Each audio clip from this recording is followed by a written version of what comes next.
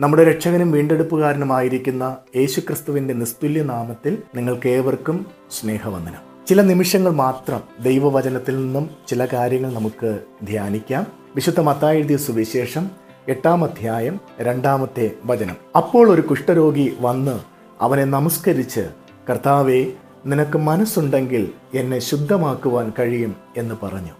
യേശു കർത്താവിന്റെ പ്രേക്ഷിത പ്രവർത്തനം നടക്കുന്നതായ സമയം. കർത്താവ് എവിടെയൊക്കെ കടന്നു പോയിട്ടുണ്ടോ അവിടെയെല്ലാം യേശുവിനെ അനുഗമിക്കുന്ന ഒരു വലിയ ജനസമൂഹത്തെ നമുക്ക് കാണുവാൻ സാധിക്കും. പല ഉദ്ദേശങ്ങളോടുകൂടെയാണ് ഇവർ കർത്താവിനെ സമീപിക്കുന്നത് അല്ലെങ്കിൽ കർത്താവിനെ അനുഗമിക്കുന്നത്. ചിലർ കർത്താവിന്റെ അടുക്കൽ കടന്നു പോകുന്നത് കർത്താവിനെ വിമർശിക്കുവാനായിട്ടാണ്. ചിലർ കർത്താവിന്റെ അടുക്കിലേക്ക് കടന്നു പോകുന്നത് കർത്താവിന്റെ അടുക്കൽ പോയാൽ വിശപ്പിന് ആഹാരം കിട്ടുമെന്നുള്ള ചിന്തയോടുകൂടെയാണ്. ഇനി കുറച്ചു പേര് കർത്താവിനെ അനുഗമിക്കുന്നത് അല്ലെങ്കിൽ കർത്താവിന്റെ അടുക്കൽ കടന്നു ചെല്ലുന്നത് യേശുവിൽ നിന്നും ഒത്തിരി നല്ല ആലോചനകൾ കേൾക്കുവാൻ കഴിയും എന്നുള്ളതായ ആ ഒരു ചിന്തയോടുകൂടെയാണ് കടന്നു പോകുന്നത്. അങ്ങനെ യേശു കർത്താവിന്റെ അടുക്കൽ പല താല്പര്യങ്ങളോടുകൂടെ പല ചിന്തകളോടുകൂടെ പല ആവശ്യങ്ങളോടുകൂടെ അനേകര് കർത്താവിനെ സമീപിച്ചിട്ടുണ്ട്. അങ്ങനെ ഒരിക്കൽ യേശു കർത്താവ് പുരുഷാരവുമായിട്ട് ഒരു മലയിൽ നിന്ന് ഇറങ്ങി വരുന്നതായ സമയം ഒരു കുഷ്ഠരോഗി കർത്താവിന്റെ അടുക്കൽ കടന്നുപോയി കർത്താവിനോട് അപേക്ഷിക്കുകയാണ്. കർത്താവെ നിനക്ക് മനസ്സുണ്ടെങ്കിൽ എന്നെ ശുദ്ധമാക്കുവാൻ കഴിയും. യേശുവേ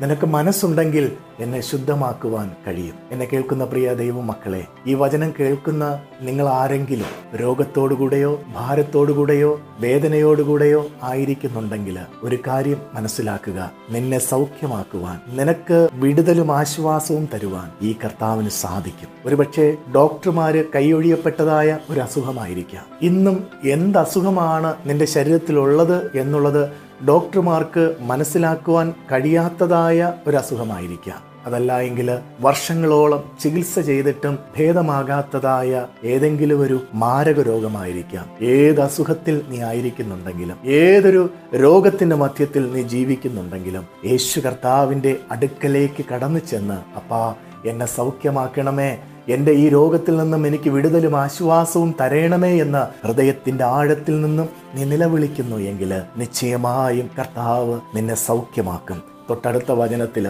മത്തായെഴുതിയ സുവിശേഷം എട്ടാം അധ്യായം അതിന്റെ മൂന്നാമത്തെ വചനത്തിൽ നമുക്ക് ഇങ്ങനെ കാണുവാൻ കഴിയും. യേശു മറുപടി പറയുകയാണ് എനിക്ക് മനസ്സുണ്ട് നീ ശുദ്ധമാക.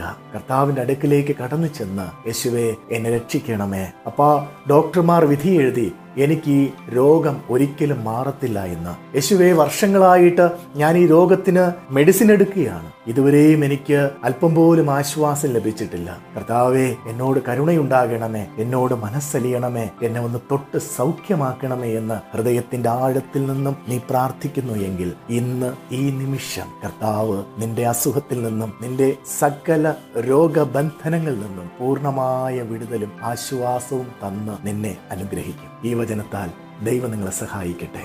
ആമേൻ. ആമേൻ